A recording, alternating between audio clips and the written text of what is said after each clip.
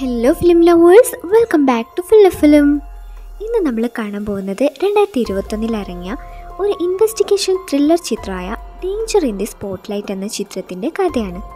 ചിത്രത്തിന്റെ ഓപ്പണിംഗ് സീനിൽ തന്നെ ഹീറോയിനായ മാർത്തേനെയാണ് കാണിക്കുന്നത്. കാറിൽ മയങ്ങിക്കിടക്കായിരുന്ന അവർ മയക്കത്തിൽ നിന്ന് കണ്ണ് തുറന്നു നോക്കുന്നു. എന്താണ് സംഭവിച്ചതെന്ന് റീകാൾ ചെയ്യാനായിട്ട് അവർ ശ്രമിച്ചുകൊണ്ടിരിക്കുകയാണ് അപ്പോൾ മാർത്തയ്ക്ക് കുറച്ച് മണിക്കൂറുകൾക്ക് മുൻപ് അവരുടെ ഫ്രണ്ട് റീന സംസാരിച്ചതായിട്ട് ഓർമ്മ വരാനായിട്ട് തുടങ്ങും. ആറു മാസങ്ങൾക്ക് മുൻപ് ഒരു ആൽക്കഹോൾ അഡിക്റ്റ് ആയിരുന്ന റീനയെ ഇപ്പോൾ മദ്യപാനം നിർത്താൻ സഹായിച്ചത് മാർത്തയാണെന്ന് അവൾ പറയുന്നു. ഈ കാര്യങ്ങളൊക്കെ ആലോചിച്ചിരിക്കുമ്പോഴാണ് മാർത്ത അവളുടെ കാറിന് മുൻപിൽ ഒരു കാർ ആക്സിഡന്റ് ആയിരിക്കുന്നത് കണ്ടിട്ട് ആകെ ഷോക്കായി പോകും മാർത്തയുടെ കാറാണ് ഓപ്പോസിറ്റുള്ള ആ കാറിനെ ഇടിച്ചിട്ടിരിക്കുന്നത്. ആ കാർ ഓടിച്ചു വന്ന ലേഡി മയങ്ങിക്കിടക്കുന്നത് കണ്ട് പെട്ടെന്ന് തന്നെ മാർത്ത ഫോൺ എടുത്തിട്ട് പോലീസിനെ വിളിക്കാനായിട്ട് ശ്രമിക്കും.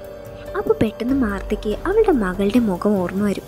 പിന്നീട് മാർത്ത ആക്സിഡന്റ് ആയ കാറിലേക്ക് പോയിട്ട് ആ ലേഡിയുടെ ഫോൺ എടുത്തിട്ട് ആംബുലൻസിനെ വിളിക്കുന്നു. ഇതേ സമയം ആക്സിഡന്റ് ആയി കിടക്കുന്ന ആ ലേഡി മയക്കത്തിൽ നിന്ന് ഉണർന്നതായി കാണിക്കും. ആംബുലൻസുകാരോട് ആക്സിഡന്റ് നടന്ന ലൊക്കേഷൻ പറഞ്ഞു കൊടുത്തിട്ട് മാർത്ത അവരുടെ പേര് പോലും റിവീൽ ചെയ്യാതെ ഫോൺ കട്ട് ചെയ്യും. പിന്നീട് ഫോണിലുള്ള ഫിംഗർ പ്രിന്റൊക്കെ തുടച്ചു കളഞ്ഞിട്ട് ആംബുലൻസ് വരുന്നതിന് മുൻപ് തന്നെ മാർത്ത അവിടെ നിന്ന് കാർ എടുത്തുകൊണ്ട് പോകുന്നു അപ്പോൾ മാർത്തയുടെ കാറിൽ നിന്ന് ഒരു കോഫി കപ്പും ഒരു പേപ്പറും വീഴുന്നതായിട്ട് കാണിക്കും. ആക്സിഡന്റ് നടക്കുന്ന മണിക്കൂറുകൾക്ക് മുൻപ് റീനയുടെ കൂടെ മാർത്ത കോഫി ഷോപ്പിലേക്ക് പോയിരുന്നു. അവിടെ നിന്ന് വാങ്ങിച്ച കോഫി കപ്പാണ് ഇപ്പോൾ താഴെ വീണിരിക്കുന്നത്. അങ്ങനെ അടുത്ത ദിവസമാവും. മാർത്തയ്ക്ക് പെട്ടെന്ന് ഒരു കാര്യം ഓർമ്മ വരുന്നു.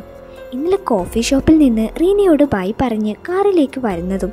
കോഫി കുടിച്ച് അപ്പോൾ തന്നെ അവിടെ മയങ്ങിയതായിട്ടും അവൾക്ക് ഓർമ്മ വരും. എന്നാൽ പിന്നീട് എന്താണ് നടന്നതെന്ന് അവൾക്ക് ഓർത്തെടുക്കാനായിട്ട് കഴിയുന്നില്ല. അടുത്ത സീനിൽ മാർത്ത കോടതിയിലിരിക്കുന്നതാണ് കാണിക്കുന്നത്. ഭർത്താവിന്റെ അടുത്ത് നിന്ന് ഡിവോഴ്സായ മാർത്ത ഇപ്പോൾ അവരുടെ മോളുടെ കസ്റ്റഡിക്ക് വേണ്ടിയിട്ടാണ് ഇപ്പോൾ കോടതിയിലേക്ക് വന്നിരിക്കുന്നത്. ഒരു വർഷം മുൻപ് വരെ മാർത്ത ആൽക്കോഹോൾ അഡിക്റ്റ് ആയിരുന്നു.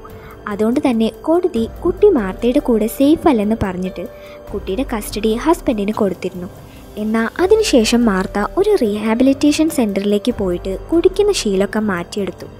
അതുകൊണ്ട് തന്നെ ഇപ്പോൾ കുഞ്ഞിന്റെ കസ്റ്റഡി വേണമെന്ന് അവർ കോടതിയോട് വീണ്ടും ആവശ്യപ്പെട്ടിരിക്കുകയാണ്. സോ കോടതിയുടെ തീരുമാനം കേൾക്കാൻ വേണ്ടിയിട്ടാണ് ഇപ്പോൾ മാർത്ത വന്നിരിക്കുന്നത്. റീഹാബിലിറ്റേഷൻ സെന്ററിൽ മാർത്തയുടെ കൂടെ ഉണ്ടായിരുന്ന റീന കോടതിയിൽ മാർത്ത ഇപ്പോൾ കുടിയൊക്കെ നിർത്തിയെന്ന് മൊഴി നൽകും.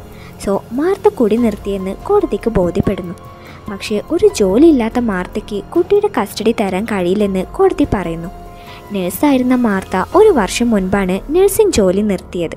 കുട്ടിയെ കൊണ്ടുപോയിട്ട് പണമില്ലാതെ എങ്ങനെ വളർത്തുമെന്ന് കോടതി അവരോട് ചോദിക്കും. അപ്പോൾ മാർത്ത താൻ ജോലി അന്വേഷിക്കുന്നുണ്ടെന്ന് പറയുന്നു. ഇത് കേട്ട ജഡ്ജ് മാർത്തയ്ക്ക് മൂന്ന് മാസം സമയം കൂടെ കൊടുക്കും. മൂന്ന് മാസത്തിനുള്ളിൽ നല്ലൊരു ജോലി ആയില്ലെങ്കിൽ പിന്നെ കുട്ടിയുടെ കസ്റ്റഡി അച്ഛന്റെ തന്നെ ഏൽപ്പിക്കുമെന്ന് ജഡ്ജ് പറയുന്നു. എല്ലാ കാര്യങ്ങളും മറന്ന് ഒരിക്കൽ കൂടെ ലൈഫ് സ്റ്റാർട്ട് ചെയ്താലോ എന്ന് മാർത്തയുടെ ഹസ്ബൻഡ് അവരോട് ചോദിക്കും. എന്ന മാർത്ത അതൊരിക്കലും നടക്കില്ലെന്ന് അയാളോട് പറയുന്നു.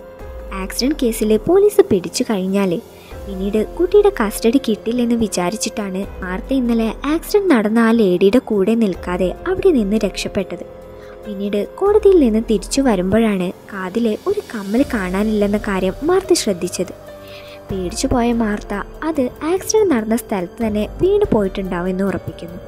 അങ്ങനെ അടുത്ത സീനിലെ ആക്സിഡന്റിൽ പരിക്ക് പറ്റിയ ആ ലേഡിയാണ് കാണിക്കുന്നത്. ആക്സിഡന്റ് നടന്ന സ്ഥലത്തിനടുത്തുണ്ടായിരുന്ന ഒരു ഹോസ്പിറ്റലിലാണ് അവരിപ്പോൾ അഡ്മിറ്റ് ചെയ്തിരിക്കുന്നത്. ഒരു വർഷം മുൻപ് മാർത്തയും അതേ ഹോസ്പിറ്റലിലായിരുന്നു നഴ്സായിട്ട് ജോലി ചെയ്തിരുന്നത്. മാർത്ത ഹോസ്പിറ്റലിലുള്ള അവളുടെ ഒരു നഴ്സ് ഫ്രണ്ടിനെ വിളിച്ചിട്ട് ഇന്നലെ രാത്രി എന്തെങ്കിലും ആക്സിഡന്റ് കേസ് വന്നിരുന്നോ എന്ന് കാഷ്വലായിട്ട് അന്വേഷിക്കും.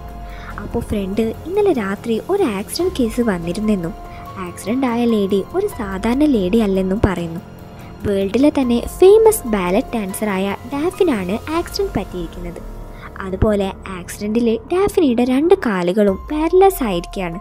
സോ ഇനി അവർക്ക് നടക്കാനോ ഡാൻസ് കളിക്കാനോ ഒന്നും കഴിയില്ലെന്ന് ഫ്രണ്ട് പറയും. ഇത് കേട്ടിട്ട് ആകെ ഷോക്കായി പോയ മാർത്ത ഉടനെ തന്നെ ഡാഫിനെക്കുറിച്ച് അറിയാൻ വേണ്ടിയിട്ട് ഇന്റർനെറ്റ് തുറന്ന് നോക്കും. അപ്പോൾ ഇന്റർനെറ്റിലെല്ലാം ഡാഫിനെക്കുറിച്ചുള്ള ന്യൂസ് അവൾ കാണും. ഡാഫിനി ഡാൻസ് കളിക്കാതിരിക്കാൻ വേണ്ടിയിട്ട് അവിടെ ശത്രുക്കൾ ആരോ പ്ലാൻ ചെയ്ത് നടത്തിയാണ് ഈ ആക്സിഡന്റ് എന്നാണ് അവിടെ ഫാൻസൊക്കെ പറയുന്നത്. ആക്സിഡന്റ് നടന്ന സ്ഥലത്ത് സി സി ടി വി ഇല്ലാത്തത് കൊണ്ട് തന്നെ പോലീസിനെ പ്രതിയെ പിടിക്കാനായിട്ട് കഴിഞ്ഞിട്ടില്ല. പക്ഷേ തന്നെ ഇടിച്ചിട്ട കാറ് ഡാഫിനി നോട്ട് ചെയ്തിട്ടുണ്ടെന്നും ആരാണ് ആ കാർ ഓടിച്ചതെന്ന് പോലീസ് അന്വേഷിച്ചുകൊണ്ടിരിക്കുകയാണെന്നുള്ള ന്യൂസൊക്കെ മാർത്ത ഇന്റർനെറ്റിലൂടെ വായിക്കുന്നു. പിന്നീട് മാർത്ത ഇന്നലെ രാത്രി നടന്ന ആക്സിഡന്റിനെ കുറിച്ച് അവളുടെ അമ്മയോട് പറയും. അമ്മ ഫസ്റ്റ് മാർത്ത കുടിച്ചിട്ടാണോ വണ്ടി ഓടിച്ചതെന്ന് വിചാരിക്കുന്നു. എന്നാൽ മാർത്ത എല്ലാ കാര്യങ്ങളും എക്സ്പ്ലെയിൻ ചെയ്തതിന് ശേഷം അവർക്ക് മാർത്ത കുടിച്ചിട്ടില്ലെന്ന കാര്യം മനസ്സിലാവും. അതുപോലെ മാർത്തയുടെ കയ്യിൽ എന്തോ മരുന്നിന്റെ സൈഡ് എഫക്റ്റ് പോലെ റാഷസുകളൊക്കെ വന്നിരിക്കുന്നതായിട്ട് മാർത്ത അമ്മയ്ക്ക് കാണിച്ചു കൊടുക്കും. അങ്ങനെ രണ്ടുപേരും കൂടി കാർ പരിശോധിക്കാനായിട്ട് പാർക്കിങ്ങിലേക്ക് പോകുന്നു അപ്പോൾ മാർത്തയുടെ കാറിൽ നിന്ന് അമ്മ ഒരു ഡ്രിങ്ക്സ് ബോട്ടിൽ കണ്ടെത്തും. അത് കണ്ട മാർത്ത താൻ ഒരിക്കലും കുടിച്ചിട്ടല്ല വണ്ടി ഓടിച്ചതെന്നും അത് വേറെ ആരോ കാറിൽ കൊണ്ടുവന്ന് ഇട്ടതാണെന്ന് അമ്മയോട് പറയുന്നു. പിന്നീട് ആ കാർ ആരും കാണാതിരിക്കാൻ വേണ്ടിയിട്ട് കാർ കവർ ചെയ്തുകൊണ്ടിരിക്കുമ്പോൾ മാർത്തയ്ക്ക് ആ കാറിനകത്ത് നിന്ന് ഒരു ചെയിന് കളഞ്ഞു കിട്ടും.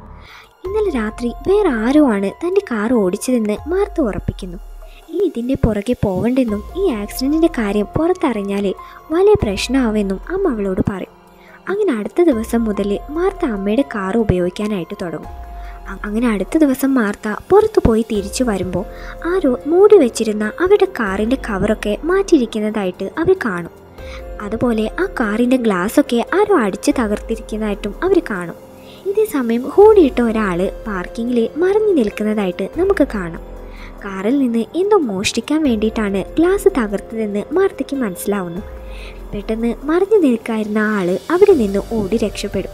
എന്നാൽ ഓടിപ്പോയ ആ ആളാണ് ഗ്ലാസ് തകർത്തതെന്ന് മാർത്തയ്ക്ക് അറിയില്ലായിരുന്നു. അവൻ ഓടുന്ന സൗണ്ട് മാത്രമാണ് അവൾ കേട്ടത്. ആക്സിഡന്റ് നടന്ന അന്ന് രാത്രി കോഫി കുടിച്ചിട്ട് കാറിൽ വന്നിരുന്നത് മാത്രമാണ് മാർത്തിക്ക് ഓർമ്മയുള്ളൂ. അതിനുശേഷം എന്താണ് നടന്നതെന്ന് അവൾക്ക് ഓർമ്മയില്ല. പക്ഷേ വേറെ ആരോ ആണ് അന്ന് തന്റെ കാർ ഓടിച്ച് ആക്സിഡന്റ് നടത്തിയതെന്നും മാർത്ത ഉറപ്പിക്കും. പിന്നീട് മാർത്ത കാറിൽ നിന്ന് കിട്ടിയ ആ ചെയിനിന്റെ കമ്പനിയെക്കുറിച്ച് നെറ്റിൽ സെർച്ച് ചെയ്യുന്നു. കപ്പിൾസ് ധരിക്കുന്ന ഒരു ചെയിൻ സെറ്റാണ് അതെന്നും ബ്രേസ്ലെറ്റ് ലേഡീസ് ഉപയോഗിക്കുന്നതാണെന്നും അതിന്റെ ലോക്കുള്ള ചെയിനാണ് ജെൻസ് ധരിക്കുന്നതെന്നും ഇന്റർനെറ്റിൽ എഴുതിയിരിക്കുന്നതായിട്ട് അവൾ കാണും. ഇത് കണ്ട് പെട്ടെന്ന് തന്നെ മാർത്തയ്ക്ക് ഒരു കാര്യം ഓർമ്മ വരും.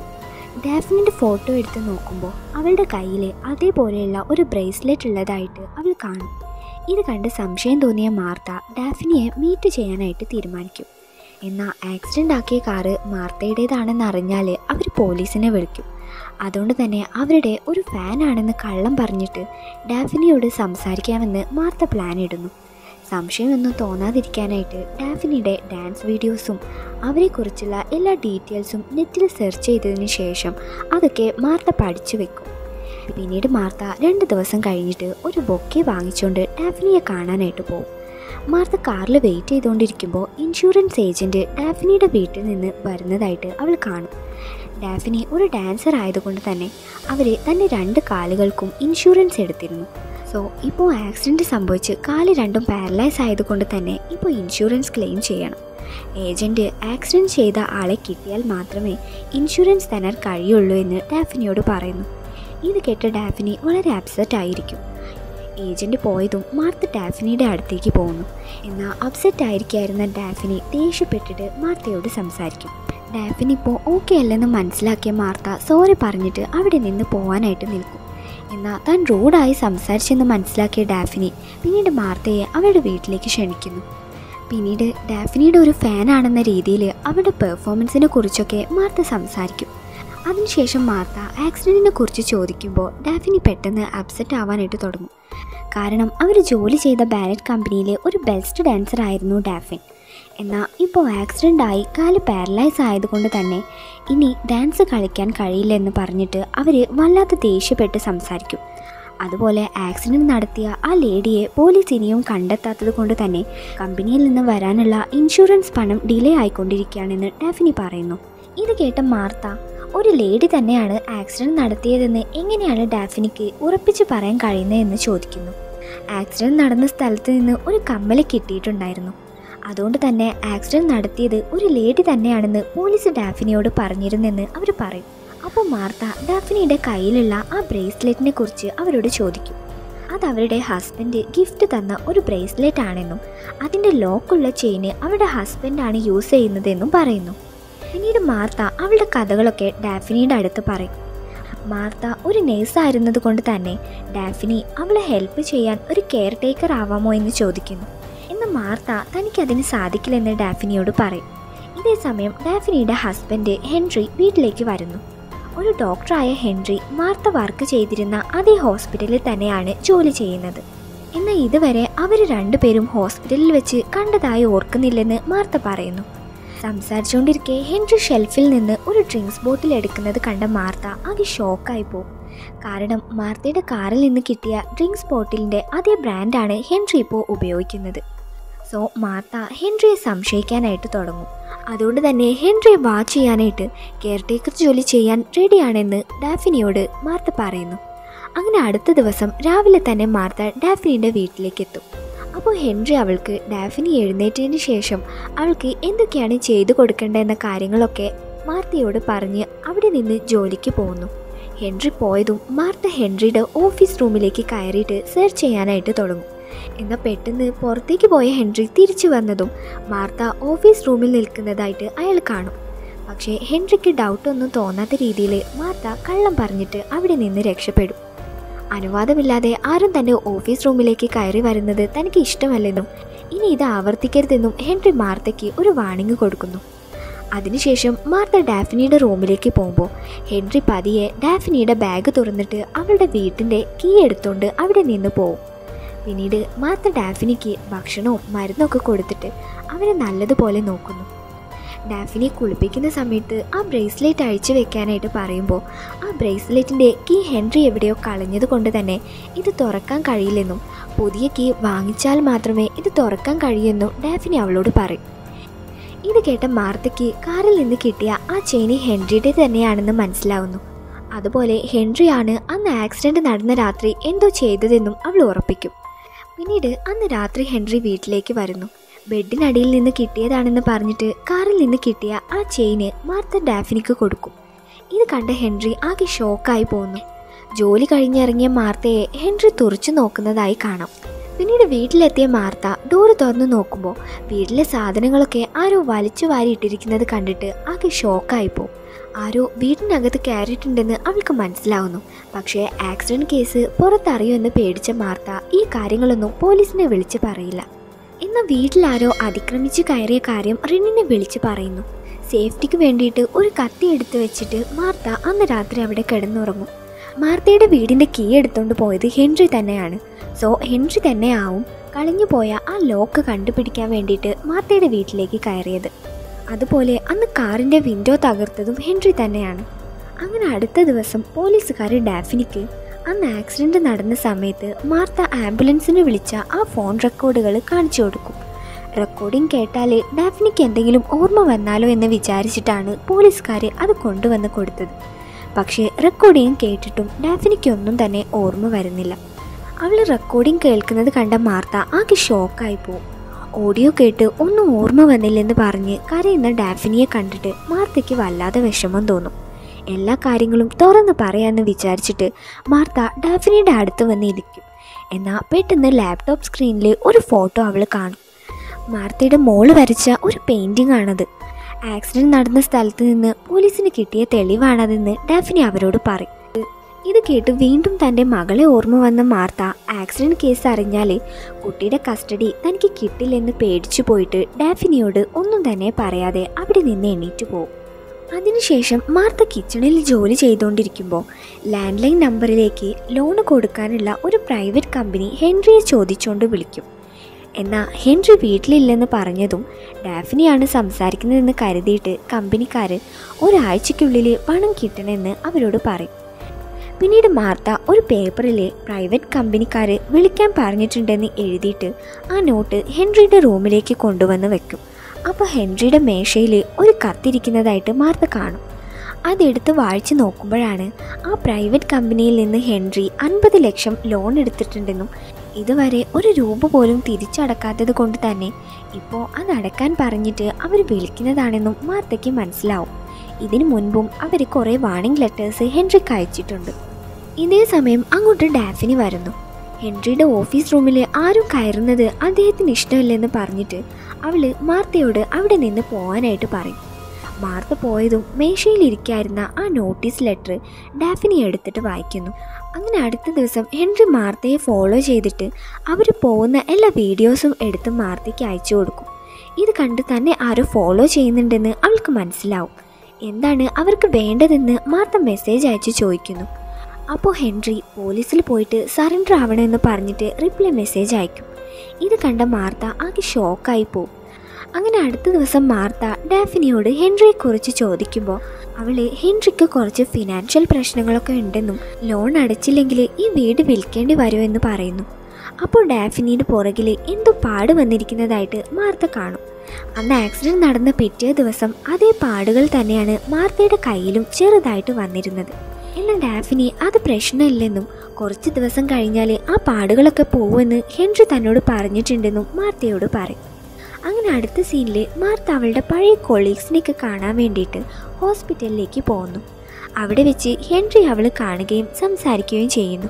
ഹെൻറി അവിടെ നിന്ന് പോയതും മാർത്തയുടെ കൊളീഗ് അതാരാണെന്ന് നിനക്കറിയാമെന്ന് മാർത്തയോട് ചോദിക്കും.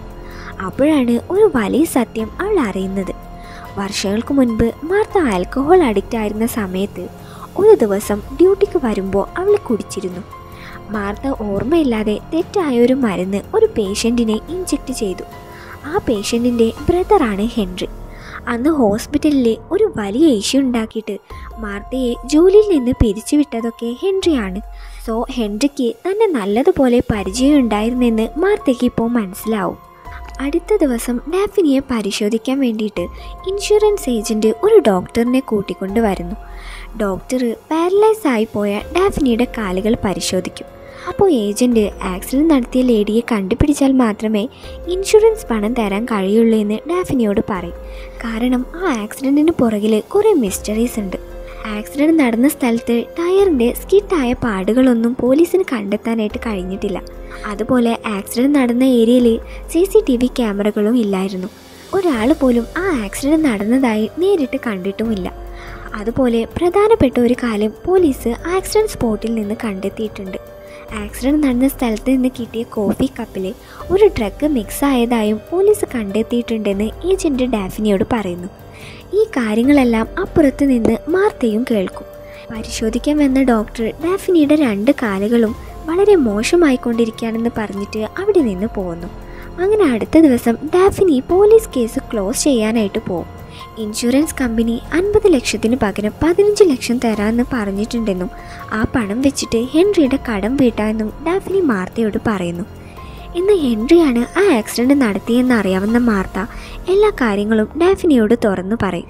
ഇത്രയും ദിവസം ഒരു ഫ്രണ്ടിനെ പോലെ കണ്ട മാർത്തയാണ് തന്നെ ആക്സിഡന്റ് ആക്കിയതെന്ന് അറിഞ്ഞ ഡാഫിനി വല്ലാതെ അപ്സെറ്റ് ആവും.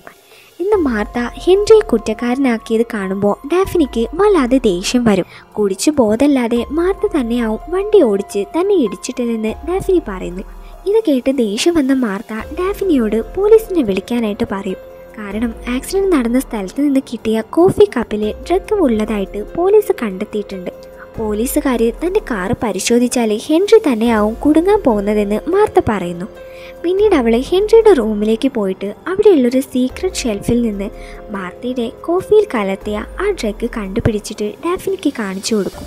അപ്പോഴാണ് ഡാഫിനിക്ക് മാർത്ത പറയുന്നത് സത്യമാണെന്ന് മനസ്സിലാവുന്നത്. ഇതേ സമയം വീട്ടിലോട്ട് ഹെൻറി വരുന്നതായിട്ട് അവർ കാണും.